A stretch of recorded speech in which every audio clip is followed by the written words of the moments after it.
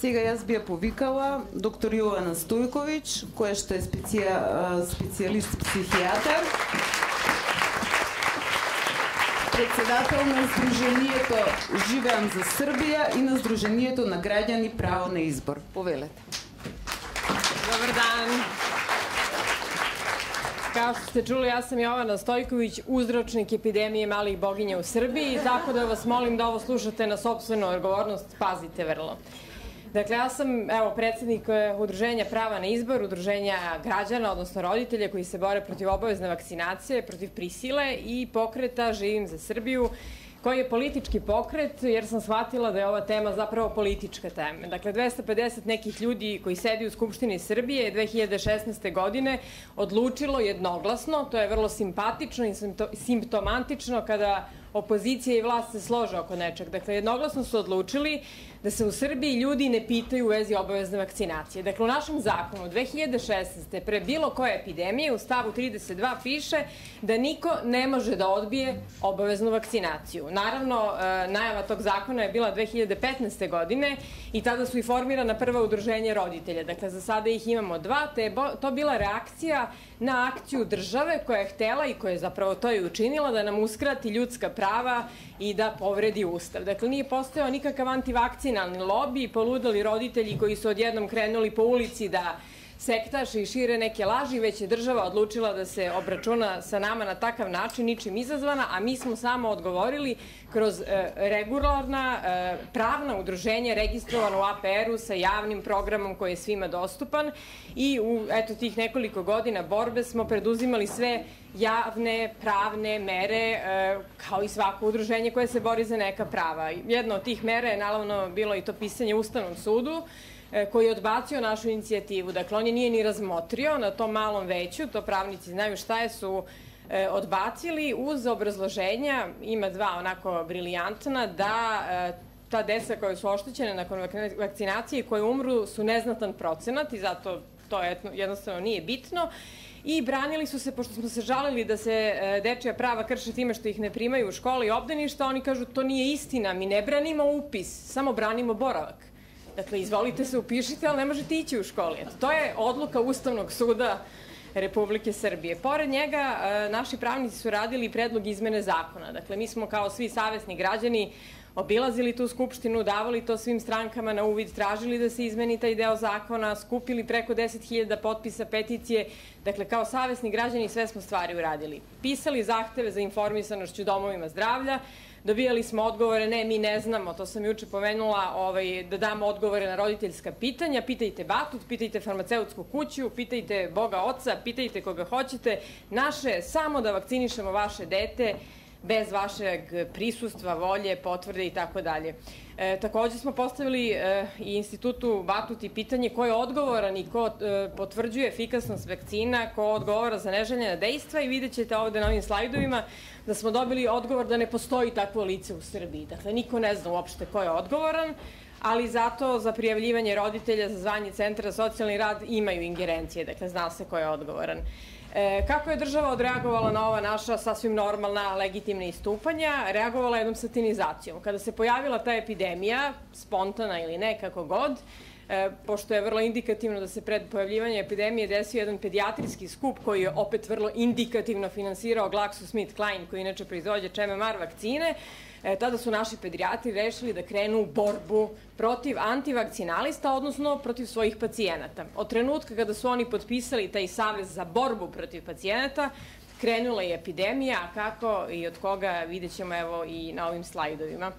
E, ja ću vada znati da se snađem sa, ovom, sa ovim čudom. Da, kako je država odreagovala, to sam vam rekla, odreagovala jednom strašnom cenzurom, jednom totalnom satinizacijom i progonom svih nas koji se borimo za iste stvari kao i vi ovde. Dakle, protiv nas su ponešene krivične prijave, mi smo optuženi od grupe ljudi koja se bori za obaveznu vakcinaciju za širenje panike, gde je zapraćena kazna zatvora do pet godina, jer oni kažu da mi svim ovim što smo čuli danas, širimo paniku i ugrožavamo javno zdravlje. E, ja imam isto proces pred lekarskom komorom kao i koleginica Gajski, e, gde me opet optužuju za širenje panike i za e, stvaranje uslova za stvaranje epidemije. Dakle, ovo što ja pričam u trenutku razboli 100 ljudi. Tako da pazite kad odete kući, gledajte, molim vas se pregledajte da nemate neki osip. Ubi me prejaka reč, verovatno je to to. E sad ovako, evo su e, podaci Instituta za javno zdravlje Batut. 6.10. te 2017. godine kreće naš psihološki horor, dakle i jedna histerija, jer je potvrđena cirkulacija virusa. 23.10. je prijavljena epidemija, dakle nije zvanično e, e, objavio ministar, već su pojedini gradovi prijavili epidemiju malih boginja. E, do kraja epidemije, koja se, hvala Bogu, završila, bila je 5798 prijavljenih slučajeva, od toga polovine je imala laboratorijsku potvrdu. Opet, dakle, u svemu tome je mogla da se desiti da su se mnoge druge bolesti prijavljivale kao male boginje, jer je histerija i među zdravstvenim radnicima bila na tom nivou da sam ja imali u okolini prijatelje koji su sa alergijom išli na torlak, jer je to bilo opisano kao mala, bo, mala boginja i tako dalje. Niko nije smeo da se počeša, odmah je bio državni neprijatelj i tako dalje. Zaista jedna totalno nezdrava e, histerija do ivice psihoze. Evo, ja sam psihijatar pa psihijatrizujem, nemojte mi zameriti. 15 ljudi je preminulo u toku ove epidemije i to je nešto što se stavlja na dušu svima nama koja govorimo o slobodi izbora, odnosno o promeni politike vakcinacije. Dakle, nikada u životu ni javno ni tajno nisam nikog savjetovala niti iko od mojih saboraca da se vakciniš ili ne. To je duboko lična stvar svake osobe na koju ima pravo da odluči. Mi govorimo o politici vakcinacije koju sve naše zemlje e, guraju, a koja je zaista suprotna i Ustavu i svim ovim konvencijama koje su e, juče pravnici e, pomenuli.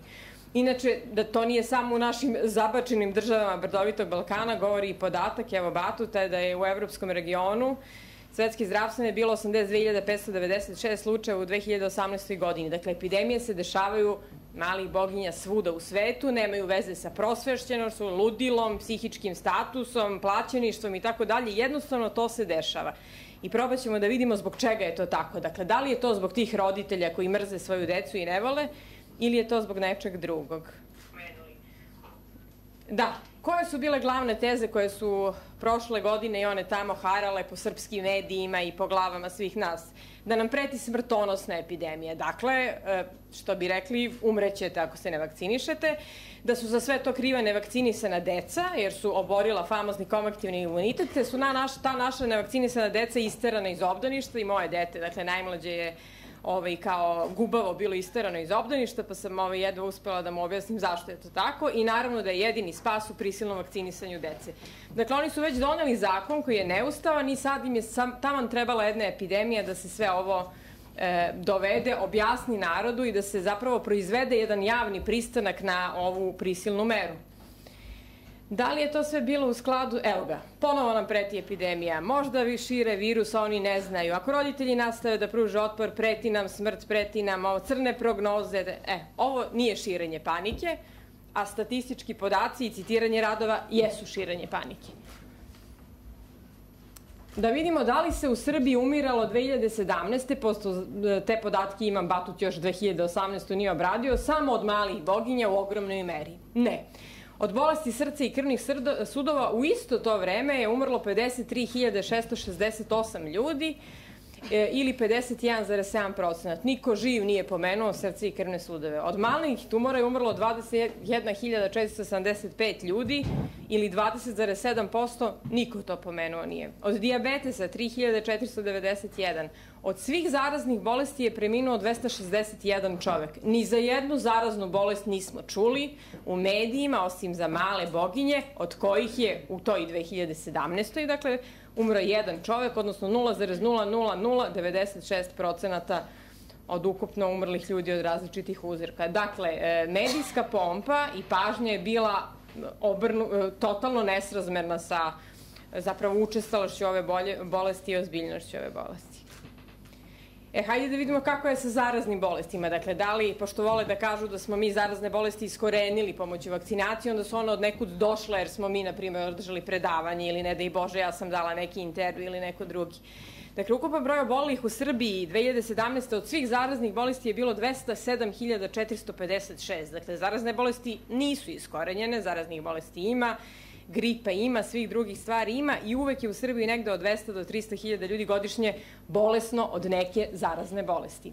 Ukupan broj umrlih od svih zaraznih bolesti je bio 261. Ni za jednog čoveka od ovih 261 nismo čuli osim za čoveka koji je preminuo od malih boginja. Broj prijavljenih slučaja u 2017. je bio 693, a broj laboratorijskih potvrđenih 269. Dakle, dva puta do tri puta više se prijavljivalo nego što, bilo, što je bilo realno i to je samo išlo u prilog toj jednoj histeričnoj kampanji da se ta epidemija neće zaustaviti i da ćemo gotovo svi umreti ukoliko ne kupimo spasonosnu vakcinu koja je protivno svim zakonima o oglašavanju lekova prikazivana recimo na televizijama u sred dnevnika i tako. Dakle, oni vam prikažu spas, Priorix vakcinu i onda vam kažu kako je umro ovaj ili nije umro ona i tako dalje. Dakle, jedna strašna propaganda koja, koliko se ja razumem, kažnjeva zakonom, ali to nema ko da sprovede da vidimo koliko su te male e, boginje smrtonosne. Dakle, jer su oni, kad dođete kod pedijatra i kada hoćete da ga pitate zašto on hoće da vakciniše vaše dete, on kaže da će ono da umre. Dakle, ni manje ni više, nego vi njega ugrožavate, ovaj, ugrožavate i komšino, dete umreći i kom, uglavnom svi ćemo umreti ako dobijemo male boginje. I e, sve to može da spreči vakcine. Dakle, svi smo za malo umrli dok nije bilo vakcine i onda u zadnjem trenutku se smisla vakcina i onda, hvala Bogu, eto, ovaj, Sad smo se razmnožili i sad opet hoćemo da umremo zbog antivakcinaša. Dakle, evo, Ovo je gra, e, grafikon zaista zlata vredne knjige i doktorata ovde naše ovaj, koleginice i saborca Mateje Černić, koja je e, kao sociolog imala pristup, pošto je žena radila doktorat, svim državnim statistikama. I ajde baš da vidimo koliko se to umiralo i kako je ta smrto, smrt, smrtnost opadala. Ovo su vam podaci za Veliku Britaniju i Sjedinjene američke države, a ovo je e, grafikon Sjedinjenih američkih država. Dakle, stopa smrtnosti je pala za 99,25% u Velikoj Britaniji od perioda početka 20. veka do period pre uvođenja vakcine, odnosno smanjila se 134 puta za Sjedinjene američke države, e, ovo je bilo u padu 98,01%, dakle za celu populaciju, odnosno smanjila se ta e, stopa smrtnosti 50,4 puta. Da li ovo znači da je spašeno čovečanstvo zbog e, vakcine protiv morbila? Svakako da ne znači. Dakle, to je jedna laž i propaganda. Ovo je isto, aha, da, E, koliko je bila stopa smrtnosti recimo na 100.000 stanovnika u trenutku godini uvođenja vakcinacije? Dakle, da li su svi padali po ulicama i onda se uvela vakcina pa odjednom se to više nije dešavalo?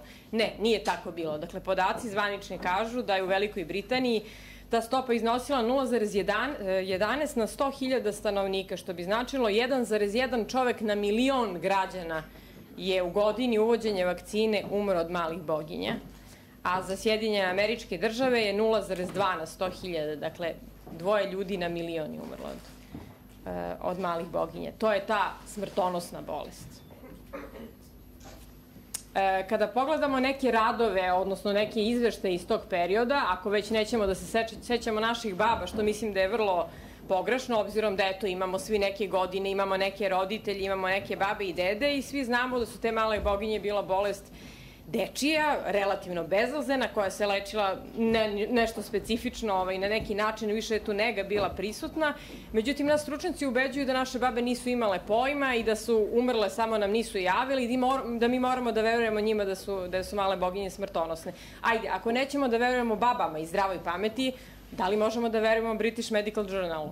Jel? Sa, od 7. februara 59. godine, koji opisuju tadašnju epidemiju i sada evo par zaključaka ću samo reći. Kaže, nismo pokušavali da sprečimo širenje malih boginja. Da li bi danas završili u zatvoru na doživotnoj robi, za ovo ne znam. Kažu, iskustvo pokazuje da deca ispod dve godine obično imaju blagu sliku, a deca ispod šest meseci najčešće poput, potpuno izbegnu bolest.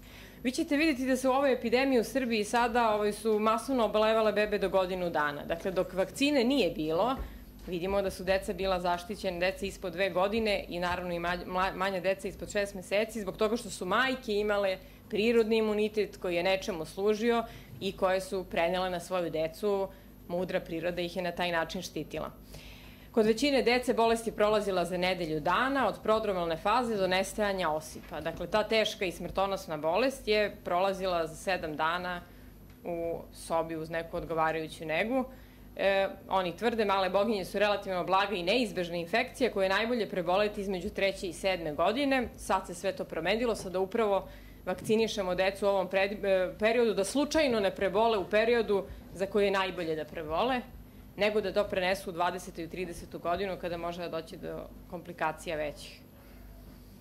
Evo CDC, ko bi nego oni, njihov jedan izveštaj kaže E, u periodu pre vakcinacije prijavljivalo se 400.000 slučajeva malih bogina godišnje, a procenjuje se da ih je bilo 4 miliona. Šta vam to govori? To vam govori da su male boginje bile toliko blaga bolest da se nisu ni prijavljivale lekaru uopšte nego su se odležavale kući. Dakle, ljudi su bili srodni sa njima, slušali su babe, za razliku od nas, i nisu ni prijavljivali male boginje. Tek je svaki deseti se prijavio uopšte lekaru. Kada govorimo o ocu e, epidemiologije zarazne u Americi, to je čovek koji se zvao Aleksandar Langmier i ovde e, jedan naslov njegovog rada Importance of Measles as a Health Problem i to u trenutku kada se uvodi vakcina protiv malih boginja. On tu nije bio opterećen, verovatno ima čovjek dobre namere da iskoreni jednu, iskoreni jednu bolest, ali još uvek ta sprega farmaceutske industrije, pritisaka i raznih stvari nije bila tako razvijena, te on sam kaže da je to samoograničavajuća infekcija kratkog trajanja i niske smrtnosti. I kaže, kada su ga pitali zašto želi da iskoreni male boginje, on je rekao ne zato što ćemo svi pomreti, ne zato što će nestati čovečanstvo, ne zato što bi spasili čovečanstvo, nego zato što je to tu i može biti urađeno. U prevodu imamo vakcinu, smislili smo je zašto ne bi iskorenili bolest, koja je ovakva kako je on opisao, dakle ne nikakva smrtonosna. Kakva su bila njihova očekivanja? Dakle, mi, mi vrlo poletno ovaj, u nauci krenemo u nešto, pa što volimo da reklamiramo nove lekove, to je čudo jedno, i onda kažemo ove stare bacite, to je đubre, dakle ima neželjena dejstva, ali ovaj novi izlečit će sve od šizofrenije do prehlade i tako dalje na tom fonu, jel su i oni tada ovaj, opisivali vakcinu protiv malih boginja i kaže Sensor, isto jedan od njihovih autora, da će efikasna upotreba tokom zime i proleća obezbediti eridikaciju morbila 67. godine. Vidimo da se to nije desilo. Izveštaj takođe ovaj, nedeljni, dakle o morbiditetu i mortalitetu, kaže da će male boginje biti eliminisane do 1. oktobra, dakle sad imamo još precizniji datum, 1982. Isti ovakav izveštaj 67. tvrdi zapravo ne tvrdi, nego veruje, što je zapravo dobra reč kada su vakcine u pitanju, veruje se da će jedna doza žive vakcine obezbediti doživotni imunitet. Od očekivanja i verovanja se nije dogodilo ništa i to ne zbog roditelja koji su pre tri godine videli da se s njihovom decom nešto dešava, već zbog toga što ta vakcina očigledno nije bila tako efikasna kao što su oni ubeđivali čovečanstvo koji su trebali da spasu. Naravno, glavna mantra na osnovu koje se, samo malo da vidim da li sam ja ovo dobro, jeste, e, na osnovu kojih se vrši zapravo otimenje ljudskih prava, kršenje ustava, kršenje medicinske etike je mantra o kolektivnom imunitetu. I vi kada god pitate nešto nekog lekara, on kaže, ma ti nemaš pojma šta je kolektivni imunitet, a ja se kladim da sve te iste lekare stavite sad i da ih pitate, e, ne znam ni da li bi znali oni baš tačno tu definiciju da vam kažu, jer je kompleksnija jako, recimo u knjizi iz epidemiologije se mnoge neke stvari računaju i faktori u kolektivni imunitet, a ne samo da li je vaše dete vakcinisano. E, on je naravno, e, ta ideja uopšte pokrenuta od posmatranja prirodnih epidemija. Dakle, e, oni su posmatrali epidemije prirodno, njihove cikluse i onda su mislili da i vakcine mogu da urade isto. Sensor kaže pre ovaj, uvođenja vakcinacije da se pre velikih epidemija procena dece ispod 15 godina koje su osetljive na male boginje dostizao je 45 do 50%. Dakle, niko stariji, niko, odnosno redko ko od, od 15 godina e, nije bio imun na male boginje. Svi su ih prelažavali. Kada taj procenat dece bude 45%, onda se pojavi epidemija i taj procenat padne na 35% i da veliki broj osetljivih tokom epidemije uopšte čak i ne oboli. E, on zaključuje da je evidentno da se epidemije ne razvijaju pri nivou kolektivnog imuniteta od 55%. I sad se vraćam isto i na onu konstataciju doktorke Gajski.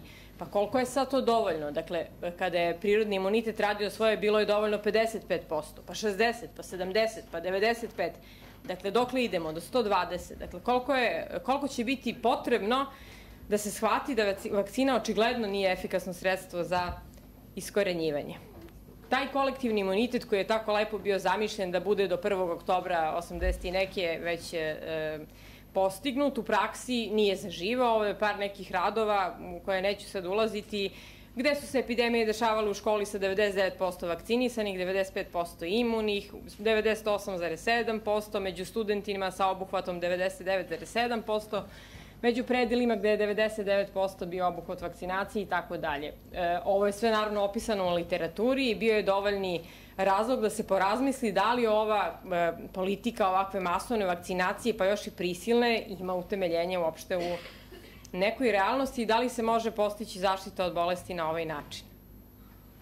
Neki autori su i sad ovih godina, ali, ali ranije, e, otvoreno u svojim radovima govorili da oni imaju sumnju u, u ovo sve što se nama kao propaganda servira, Tako da se kaže recimo da uprkos efikasnoj vakcini protiv malih boginja, vraćanje ove bolesti u SAD i širom Evrope dešava se i kod osoba vakcinisanih sa dve doze, što mi svi vidimo i u realnosti. Ona pominje genetske faktore koji dovode do individualne variacije u stvarnju antitela i igraju ulogu u neuspehu vakcinacije. Dakle, ne samo da je ovo tačno što je govorio profesor Trajkovski, da neželjena dejstva da li će neko razviti, zavise od neke genetske podloge, već zavisi i to da li ćete razviti antitela, da li će uopšte ta vakcina biti efikasna. Te mi imamo subpopulacije ljudi za koje ne znamo koliki su, koji em što ne mogu da razviju antitela, i da štite taj kolektivni imunitet uprkos tome što su vakcinisani, mogu da razviju i neželjene dejstva.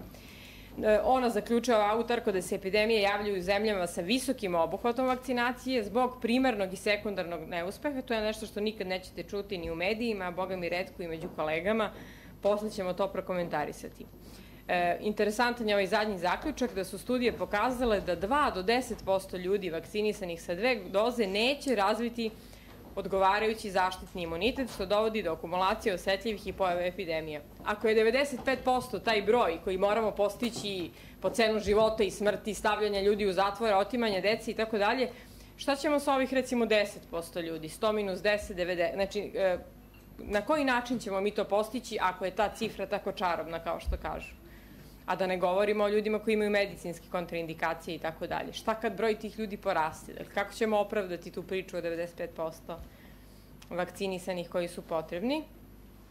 Čak i Poland, ovaj koga smo malo pre videli, koji se može nazvati svakako samo ne antivakserom, e, onako pošteno je izveštavao čak 94. o izveštajima o epidemijama u školskoj populaciji, e, gde je obuhvat vakcinacije bio od 71 do čak 99,8% a zastupljenost vakcinisanih u tim epidemijama prema njemu je bila između 30 i 100%. Dakle, postojale su epidemije gde su samo vakcinisani oboljevali i on zaključuje tada da je paradoks da što više raste obuhvat vakcinacijom, to više postaje bolest vakcinisanih ljudi. Takođe i drugi autori imaju dakle iste zaključke da uprkos visokom obuhvatu epidemije su se pojavljivale i da su to bile vakcinacijom modifikovane male boginje, koji se mogu pripisati iščezavanjem vakcinalnog imuniteta i slaboj cirkulaciji divljeg virusa.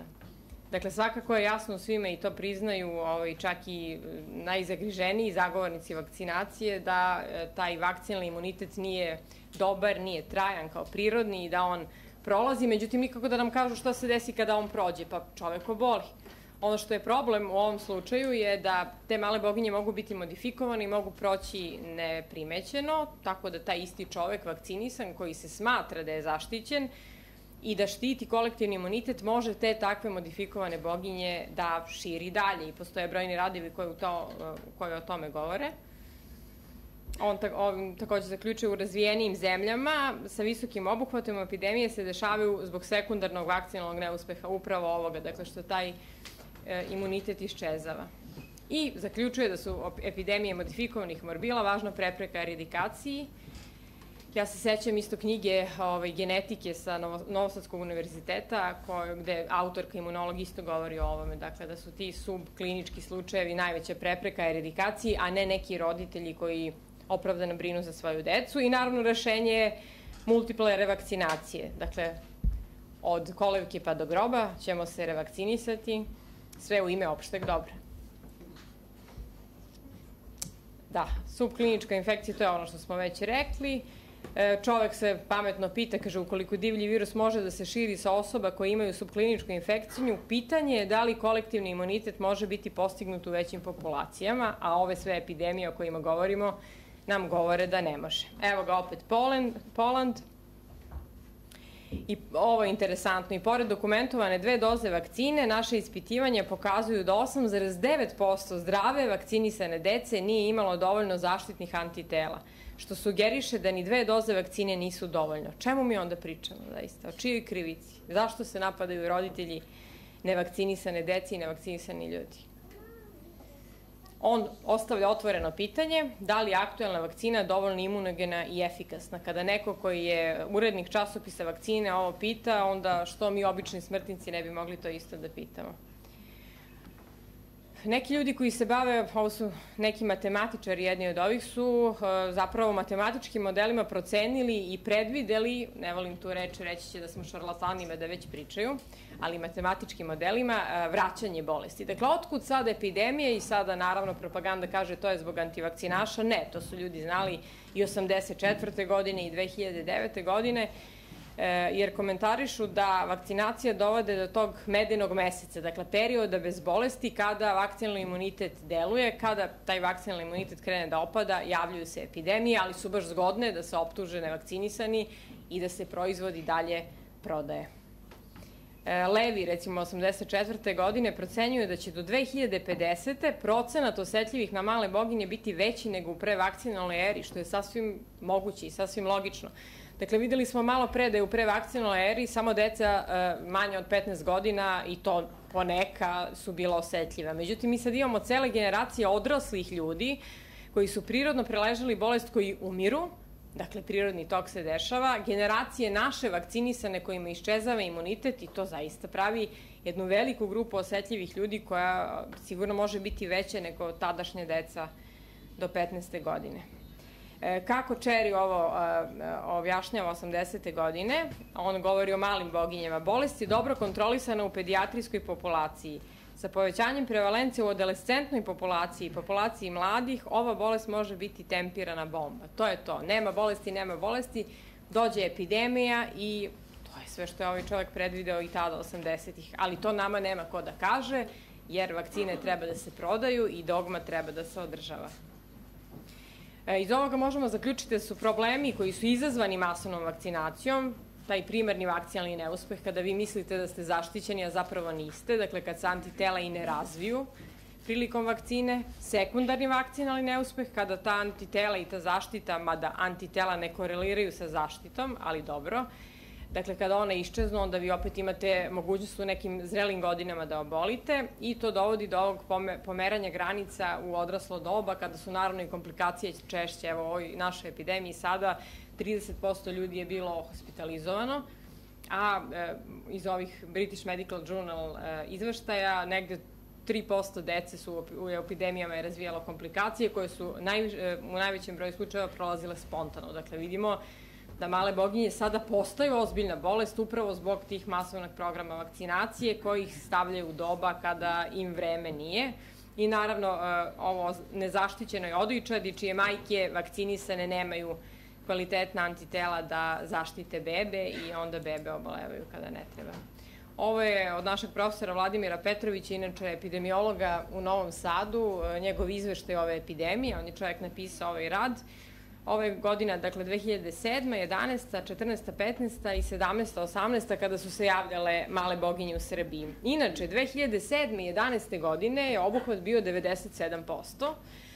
U tim epidemijama su čak i na odeljenju hematoonkologije bili neki zaraženi ljudi, ali ove histerije medijske nije bilo. Dakle, tada nije bilo opasno da, se, da bude epidemija i da bude čak i na odeljenju hematoonkologije, zato što je bio obuhvat dobar, nije imao ko da se krivi a i profit farmaceutske industrije išao dobro. Proda je išlo dobro i onda nije bilo strašno, mislim, što je epidemija. Međutim, sad je strašno, 2017. i 18. godine. E, verovatno vidite ove boje, dakle, ova plava boja dole su deca mlađe od godine dana, ova naranđasta, roza, su deca od jedne do četvrte godine, što su e, većinom ova deca na koju se hajka vodi, jer prema stručnjacima za antivakcinalni lobby Srbije, e, ta neko ludilo, jel, kreće par godine unazad. Dakle, sve su to roditelji koji imaju decu u ovim nekim godinama. E, ovo sivo, to su deca starija, dakle, 5 do 9 godina, žuti su od 10. do 14. i sad idu, dakle, stari od 15. do 19. 20. do 29. i preko 30. Vidite, vidite zapravo da je najveći broj obolelih e, ljudi preko 20. godine, dakle, i preko 30. godine. Dakle, u ovoj epidemiji su obolevali najviše su oboljevale odrasle osobe koje su većinom vakcinisane, jer tada u to doba nisam postala ja da ih odvraćam od vakcinacije i ljudi su savesno išli na vakcinaciju i bili zaštićeni i tako dalje. Ova problematična deca kojim su, koji su zabranili pristup školama, e, životu i tako dalje, njih je zajedno i vakcinisanih i nevakcinisanih bilo 4,3%. Eto, to su ti izazivači epidemije.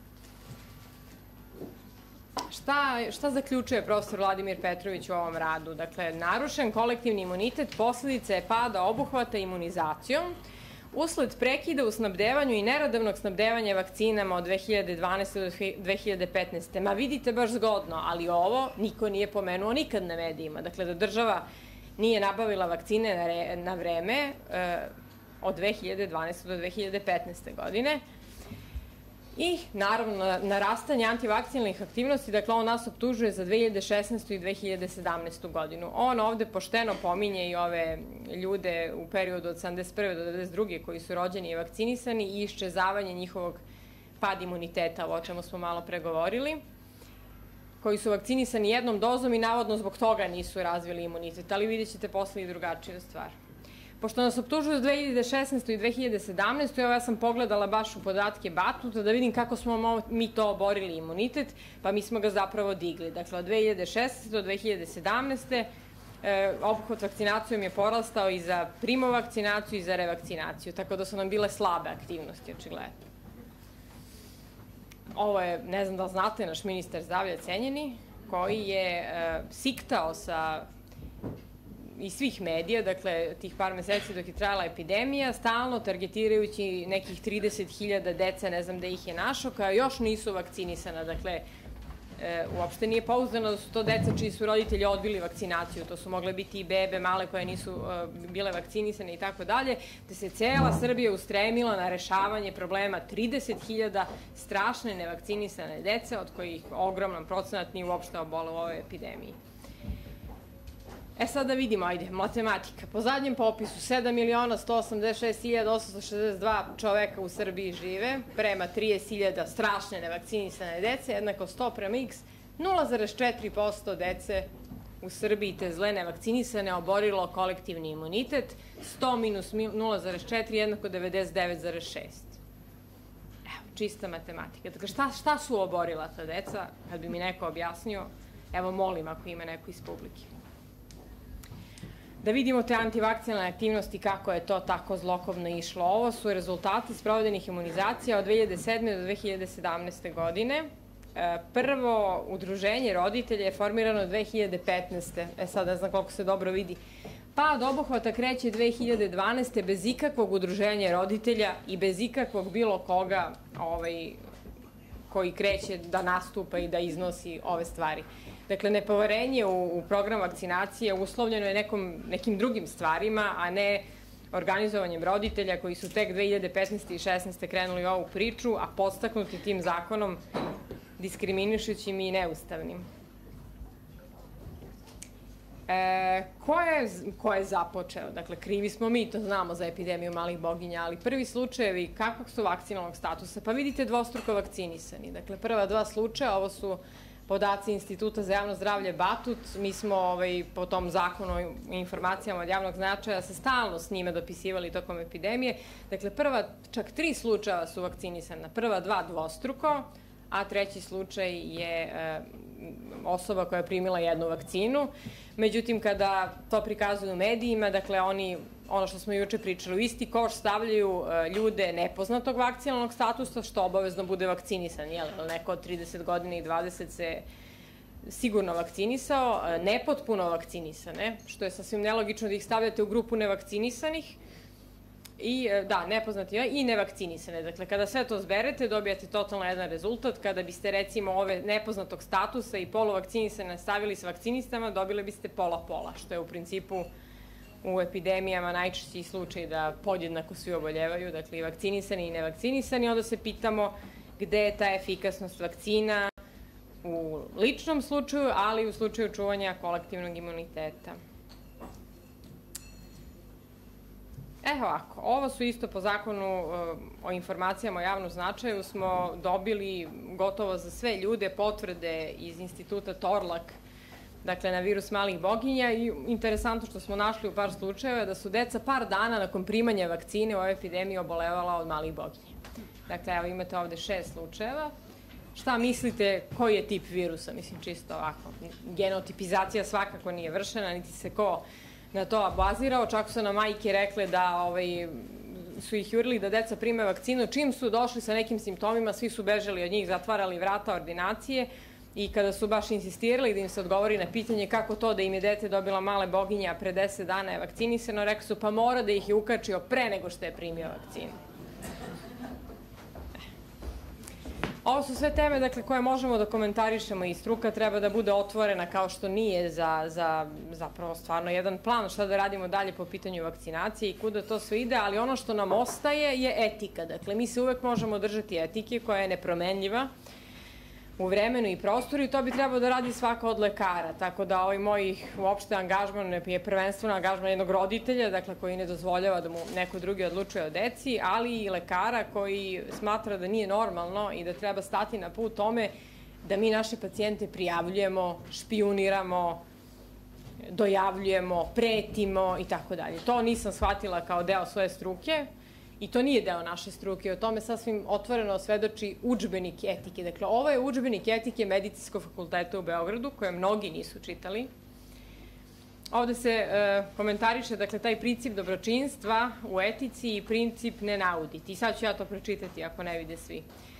E, smatraju da je jedan od slučajeva kada princip dobročinstva postaje viši od principa ne nauditi onaj kada je zbog epidemije neke opake zarazne bolesti neophodno vakcinisati čitavu populaciju jednog područja. Poznato je da neke vakcine mogu da ugroze zdravlje izvensnog broja onih koji je prime. Po njihovom sudu, sprečavanje zla bolesti, to jest činjene dobrog većini, moralno opravdava to što se može nauditi ili što se naudilo manjini. Ovakav princip je bio sasvim neupitan do skora. Ako se naime zna da će 5 do 10 odsto vakcinisanih rizikovati da im vakcina naruši zdravlje, kod nekih vakcina posledice mogu biti veoma ozbiljne, odnosno smrtonosne, a toj vrsti preventive je podvrgnuto, na primjer, 10.000 ljudi. Kako moralno opravdati zlo koje je naneto narušeno zdravlje ili smrt 500 ili čak 1000 osoba? Dakle, etika je sasvim jasna, iako sam ja našoj lekarskoj komori e, uputila pitanje da li je opravdano da li je etič, etički ovaj, ljude primoravati na vakcinaciju, odgovor naravno nisam dobila, ali je moja tužba ekspresno, ovaj, odnosno tužba protiv mene e, tamo obrađena i u toj tužbi verovali i ne se pominje, ne znam gde je Srećko, Srećkov pas. Dakle, oni su u diskvalifikaciji mog lika i dela, nisu uopšte baratali činjenicama, nego su rekli da se farim omladinu, sad ja malo karikiram i družim se sa Srećkom Sladoljevim koji je rekao da, je vakcinis, da nije vakcina sa psa, a da jeste. I izvor im je neki hrvatski list. Verujte, to piše u prijavi lekarske komore, odnosno tih kolega protiv mene. Eto, tim, time se bavimo, na tom nivou to ide. E, Mi smo kao roditelji postali, da, ovo je ono što sam vam rekla, Institutu za javno zdravlje Batut pitanje, dobro, ako nas već terate, primoravate i tako dalje, recite nam ko odgovara za efikasnost vakcina, za bezbednost i za neželjena dejstva. Evo ga odgovor Batuta, ko ne može da pročita. Kaže, institut, odnosno odeljenje za nadzor nad vakcinama preventabilnih bolesti i imunizaciju ne poseduje ni informaciju ni dokument o nazivu institucije ili pojedinca koji pred zakonom garantuje dugoročnu učinkovitost i sigurnost predmetnih vakcina, isto se to dešava i za neželjena dejstva. Sada neću ovaj, pominjati onaj frižider koji kupujemo i šporet, ali zaista bilo koja ozbiljna država i ozbiljen, ozbiljni ljudi na ovo svakako ne bi pristali, te mi, pored svih ovih pritisaka koje doživljavamo na ove ne pristajemo, na ovo ne pristajemo i dalje, a razlog je samo jedan, a to je zaštita naše dece. Sad kao psihijatar moram ovaj, da citiram i mog kolegu i jednog divnog čoveka, lekara i akademika Vladetu Jerotića, koji je sagledavao bolesti koje mi lečimo onako prilično e, na jedan način da smo se raspodelili hiljadu subspecializacija i više ne znamo, jedan gleda ruku, jedan gleda glavu, jedan gleda nogu i tako dalje. On je onako negde holistički i psihosomatski posmatrao oboljevanje, pa i oboljevanje od zaraznih bolesti.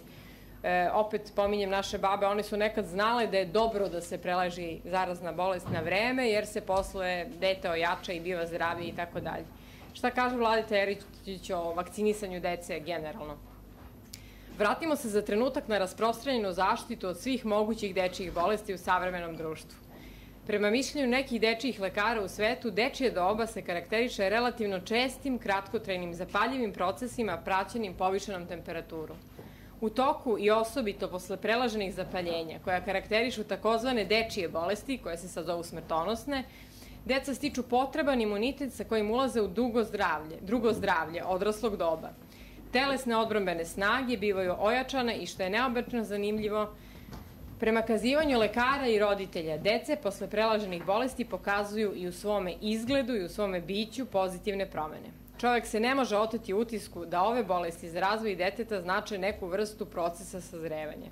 Iz ovakvog posmatranja i razmišljanja proizilazi da veštečki imunitet koji se danas masovno primenjuje kod dece ne samo što usporava duševni i telesni razvoj deteta, nego pošto taj imunitet nije trajan, razne poznate dečije bolesti pristižu u jednom uzrastu kada dete nije psihofizički spremno da ih dobro podnese. Otud je opasnost kod ovih bolesti od mogućih komplikacija. Vladeta Jerotić u knjizi čovek i njegov identitet.